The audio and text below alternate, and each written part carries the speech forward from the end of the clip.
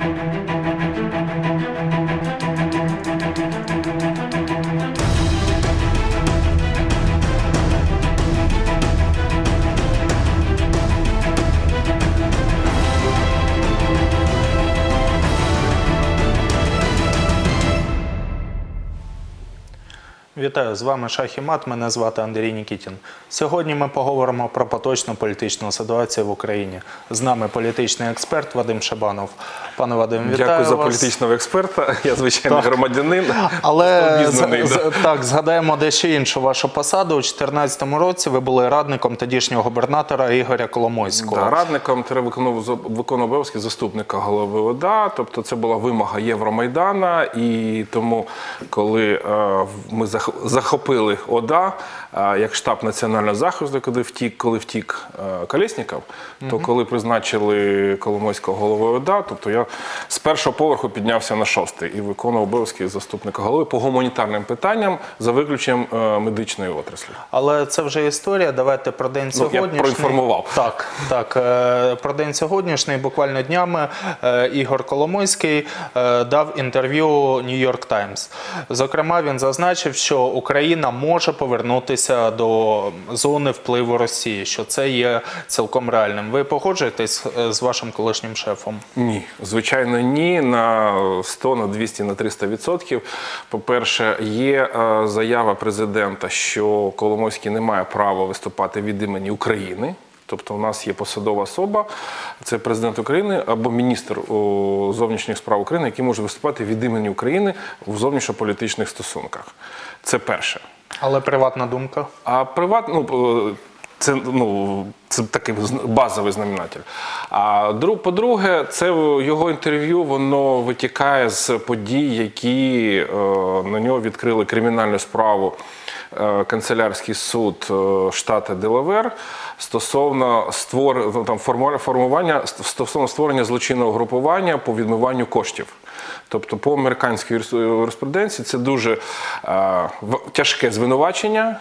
І е, він розуміє, що хто не прийде зараз президентом е, в США, Трамп або його конкурент, який буде висунутий від е, демократів, все одно позиція США стосовно Коломойського вона буде дуже жорстка.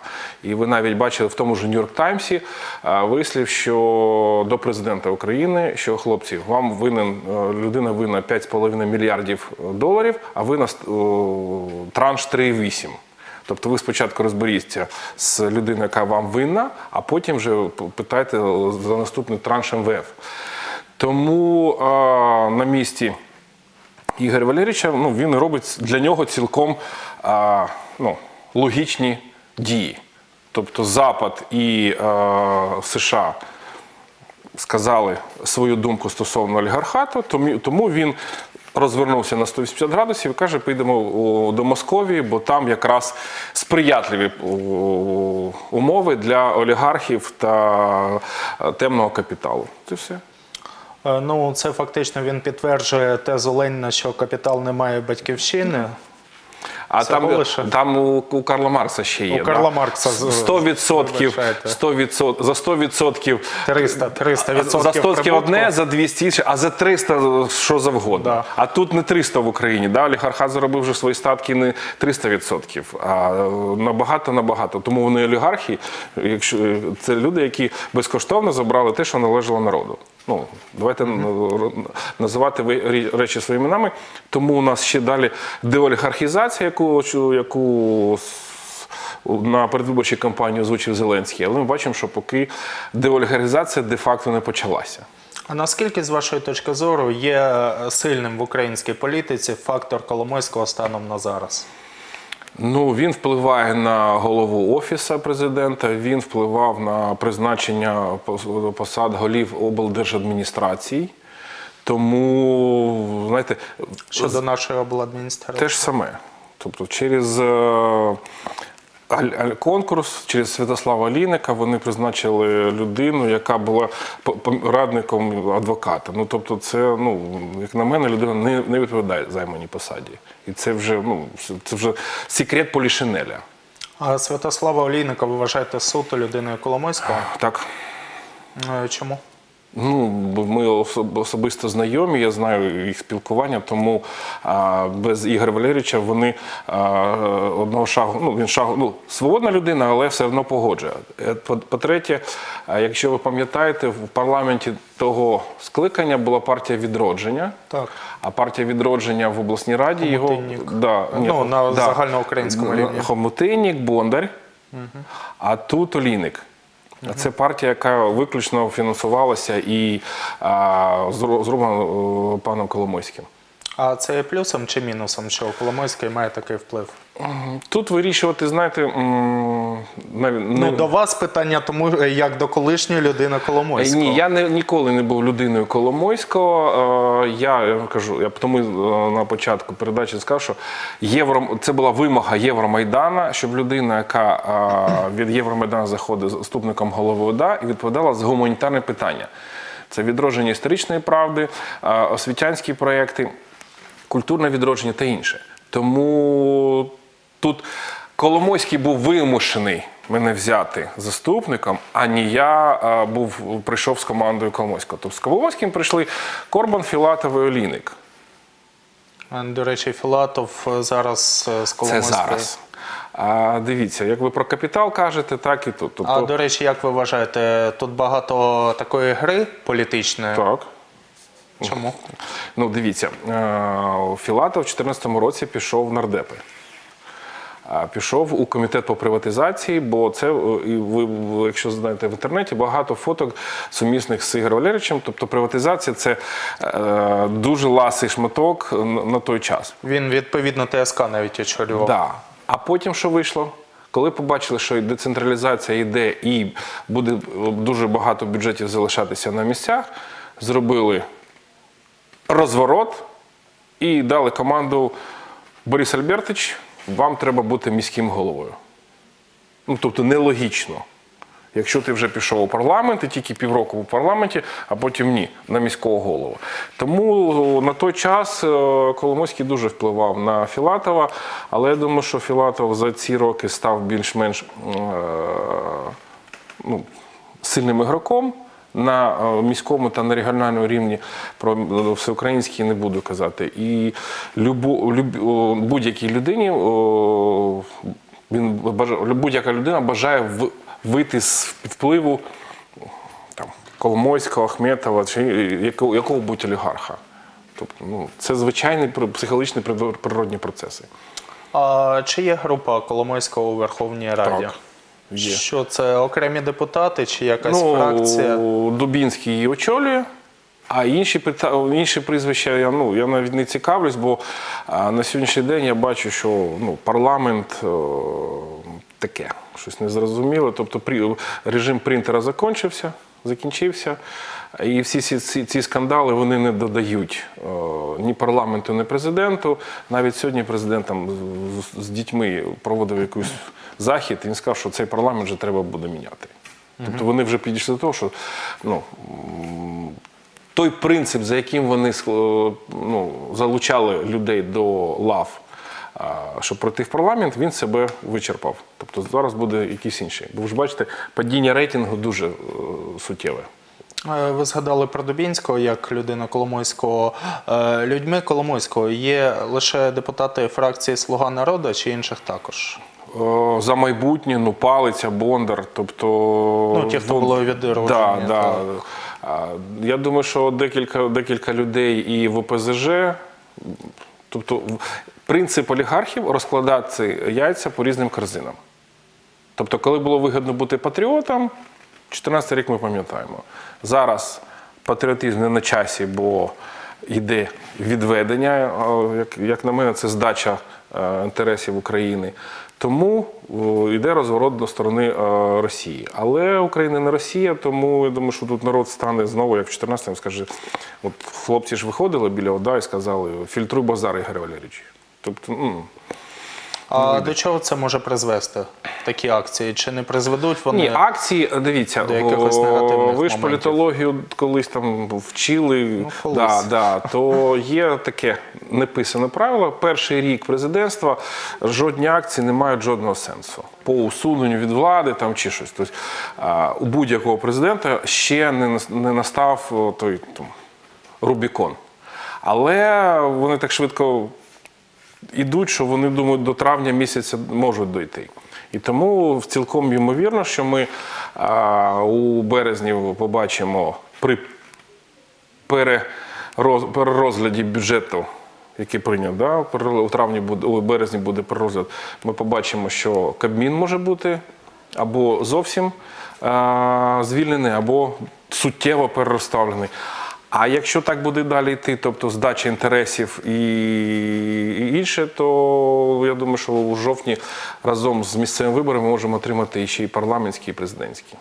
Е, До речі, щодо уряду, щодо парламенту, Слуга народ заявляла, що ідеологія партії є лібертаріанство. Ні, вони так ніколи не заявляли. Це було інтерв'ю Стефанчука, який сказав: скоріш за все, у нас лібертаріанство. І всі підхопили. А коли хлопці подивилися, що таке лібертаріанство, це мінімум держави, е, максимум людини. І Він сказав, а на що ми тоді приходили е, керувати державою? В принципі, такі моменти, як продаж землі, це і говорить про це. Е, ні, дивіться, е, продаж землі, тобто ми одна із семи стран е, країн, де е, немає ринку землі. Але е, дивіться, не треба повторювати Причому такі країни. Да, да, да. Але не треба повторювати приклад країн, які пішли по цій моделі: це Чилі, Аргентина, які потім залишилися і без землі, і без грошей. Тобто на Чикагські мальчики. Да, да, да, да. Зараз в Чилі дивіться, який бунт. Да. Тому е, до- повинен бути регульований ринок землі. е, Кваліфікаційні вимоги до фермерів, тобто в- Європа е, вся йде по, по шляху фермерства. 500 гектарів плюс-мінус, і обов'язково кваліфікаційні вимоги, якщо ти хочеш бути фермером. Бо ви і я чомусь до перукаря, до стоматолога ходимо, який професійний, так? А вважаємо, що вирощувати щось на землі це таке самовиросло. Ні. Професійні вимоги, 500 гектарів і банк землі. Тобто, якщо ви ну, передумали життя таке від, відмовитись без землі, вас держава її викупає. І знову туди приходить, людина каже, я хочу бути фермером. Здай екзамени, здав, що ти хочеш вирощувати.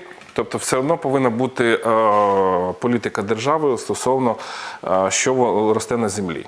Ми з вами проходили, коли китайці, корейці у нас тут вирощували, спалювали землю своїми гербіцидами за три роки. Mm Да, в чотири рази більше збирали, ніж треба, а потім землю треба відновлювати на 30 років. Ні. Тобто ринок повинен бути, але регульований. Ну, ми можемо цю тему і про паї, і про інше, але регульований ринок це наш шлях. Ну от якщо згадати все-таки про ідеологію партії, якщо не лібертаріанство, да, яка ідеологія слуги народу і чи є вона взагалі? Популізм, чистіше води, з таким жорстким уклоном на соціалізм. Ну вони, до речі, заявили про соціалізм. А це добре, знову ж таки, чи погано? Мар- чи Маргарет це- Тетчер, е, коли вона проводила в себе реформи по вугільній отраслі та інших, вона сказала, при соціалізмі завжди закінчуються гроші. От питання, де вони будуть брати гроші? А Швеція? Ні, не плутайте. Швеція це не соціалізм. Вони два рази вже штовхалися. Тобто вони починали з капіталізму. Коли капіталізм нарощував м'язи, появився, як кажуть, жирок, а почали йти соціалі- соціалістичні ідеї. Тільки соціалістичні ідеї перемагали, знову рецесія. Тому і вони зараз відновлюють, е, умовно кажучи, прогресивний капіталізм, який враховує інтереси капіталу, але й не е, викреслює з процесів інтереси кожної людини. Це, це не соціалізм, це, що- це інше. Це прогресивний капіталізм. Ну а все-таки наскільки у нас багато, і чи є вони взагалі ідеологічні партії, і чи потрібна на сьогоднішньому етапі якась чітка ідеологія для держави Україна? Чи то не знаю, комунізм, чи націоналізм, Ну, чи лібералізм? дивіться, націонал-соціалізм та комунізм. До речі, німців при Ну, заборонено, Гітлері це це був не фашизм, це був націонал-соціалізм. Ну так, фашизм це Італія, да. Да, фашизм це трохи інше. А комунізм націонал-соціалізм заборонені ідеології, тому ми їх відставляємо. Так? І залишається насправді, е, так як е, світ дуже швидко змінюється. Те, що вважалося 30 років тому, це дуже добре. Зараз чілі. Да? Розуміємо, що як належали е, мідні шахти капіталу, а людини там люди гибли, то так і належать. Тільки чуть-чуть змінилося відношення до валюти та до зовнішніх ринків. Тому питання зараз що більш філософське, що таке держава? Бо є визначена держава це кордони, валюта і громадяни.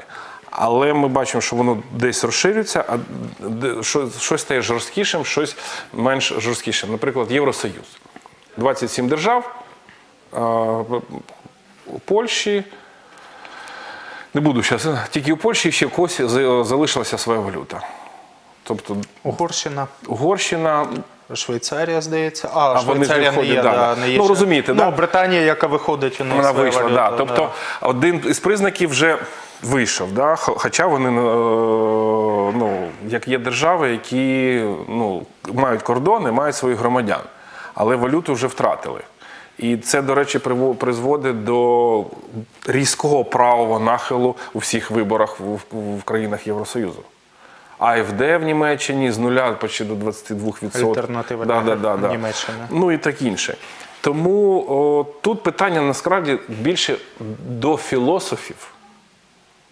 Це не шутка, тут іменно до філософів, які можуть розкласти ну, поточний момент на інтереси однієї особистості, до колективу ми, до загального колективу, до, до земного, земної кулі. Тому тут я не можу зараз вам так впевнено сказати, що краще. Капіталізм, прогресивний капіталізм, соціалізм, ну комунізм я навіть не, не, не хочу. І ізми вже не працюють. Воно щось на стику різних е, філософій.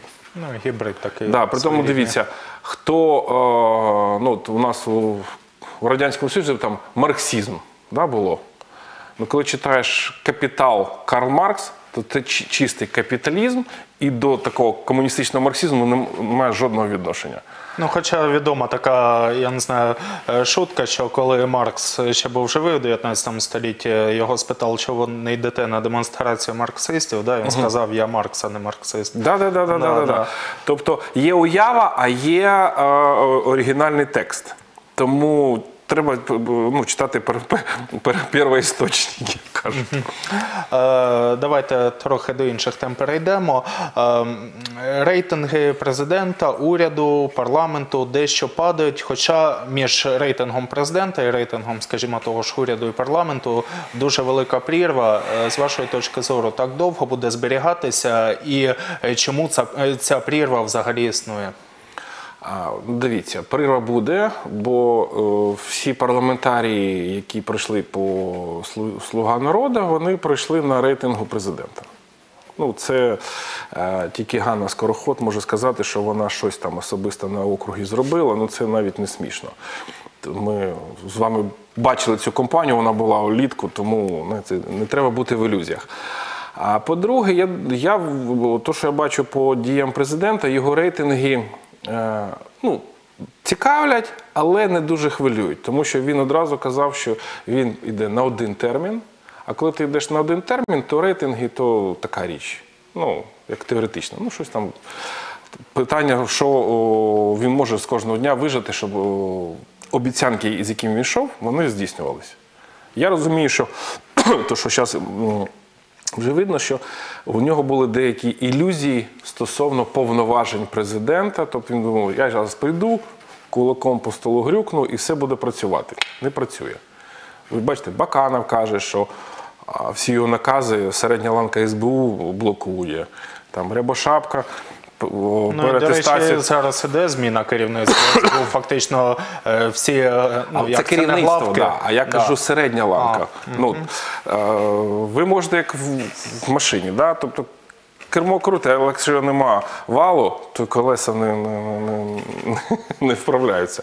Тому в них не працює цей вал.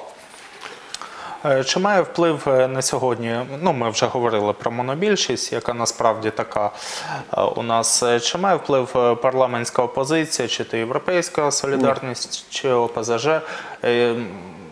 Чому?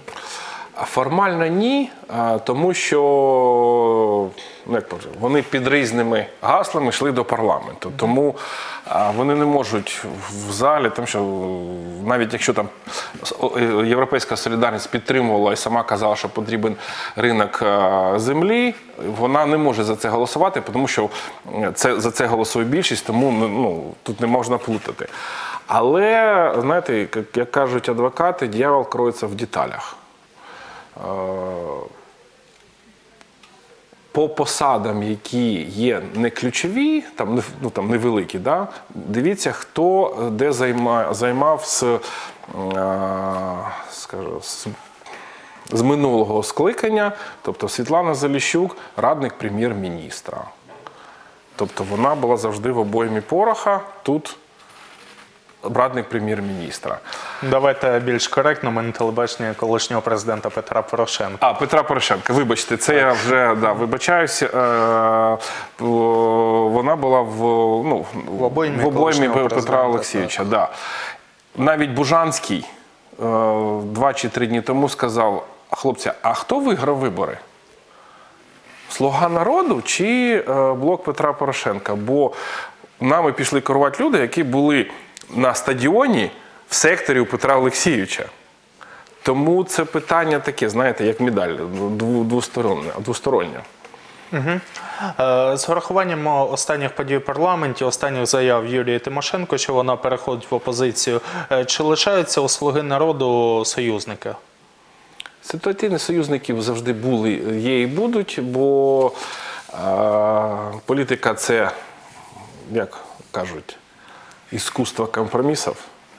Тобто можна перейти в опозицію, але якщо є рішення, які е, йдуть на користь державі, все одно треба їх ну, підтримувати. Бо якщо ми будемо е, зараз, особливо зараз, коли а з США у нас е, погіршилися стосунки. Ну про Московію ну, зо- до- ну, нічого не кажемо. З Німеччиною, яка проголосувала за зниження е, ну, тобто за Північний поток 2 да? то якщо ми ще внутрі будемо чубитися, то ми ну, можемо е, судьбу Першої Української Республіки. Ну, Тобто до, 18-го року Скоропадський та інші. до речі, акції протесту, які проходять е, от ні капітуляції, вони то Вони будуть, то навпаки. вони будуть проходити, але ж ви там не чуєте. А як коли ми виходили в Євромайдан, то есть, о, Янукович гей там інше. Тобто ніхто не каже, що президента гей та інше. Всі кажуть ні капітуляції. Тому Ні, що ну, відвод- Януковича геть почалось після певних кривавих таких подій кінця листопада. Я розумію, але вже в нас події е, шостий рік тривають. Тому нам не треба ще одного доказу, що, як казав німецький канцлер, всі домовленості з, Московією не, варті папіру, на якому написані. Тому зараз на Зеленського ніхто не давить, що треба е, там, відвод, якийсь ще інше. Він сам бере за свою ініціативу це робить. Ну, тобто, ну, у всіх питання, а на що ти це робиш? Ну, тобто немає такої гарячого стану, який був, в якому який потрапив е, Петро Олексійович 14-15. Коли постійно там гради та інше, тобто е, ну, переміщені особи, тобто вбиті та поранені. Зараз такого вже гострого моменту нема. Перейшло в затяжну фазу. Треба переходити на інші рейки. Чому це робити? Тому народ виходить, ні-ні ні. Стоп. Капітулювати не можна. Тому і дивіться на персональний склад цього руху, який в Києві 15-го зібрався. Там Йосиф Зізельс, це дуже поважна людина, дисидент в, Радянському Союзі, Роман Безсмертний та інші.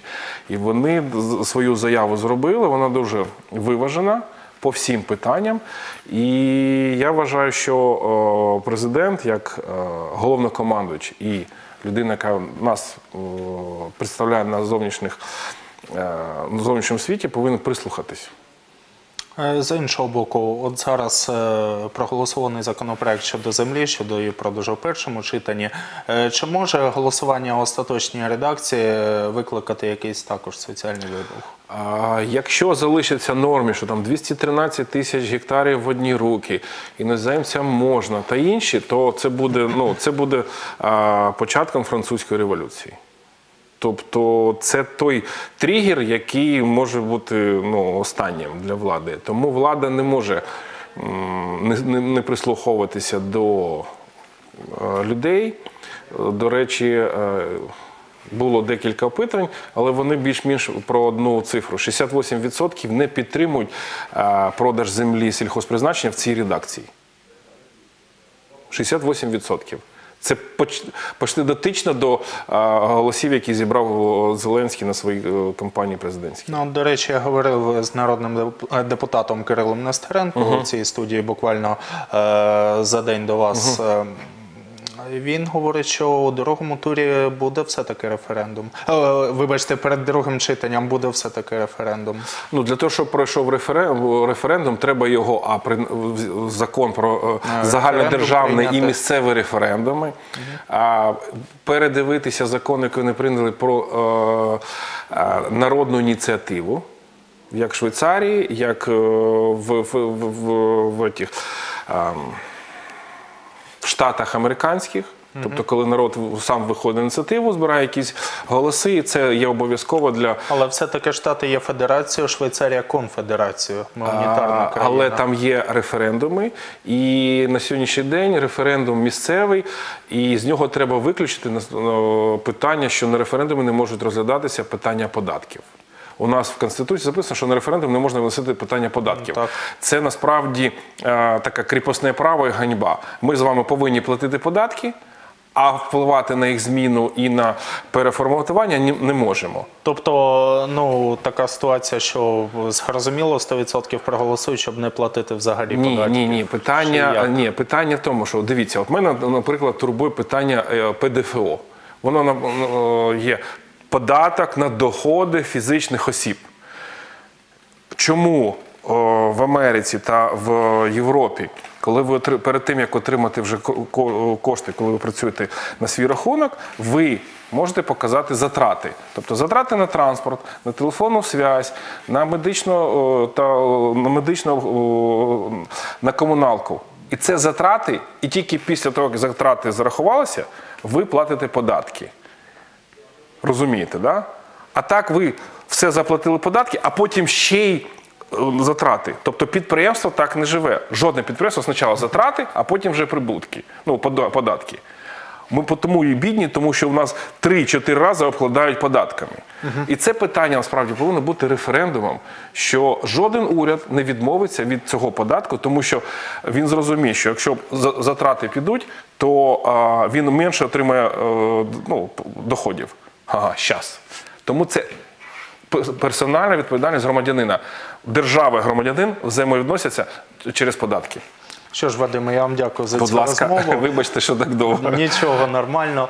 Я нагадую, сьогодні ми спілкувалися з політичним експертом Вадимом Шабановим. На все добре. До побачення.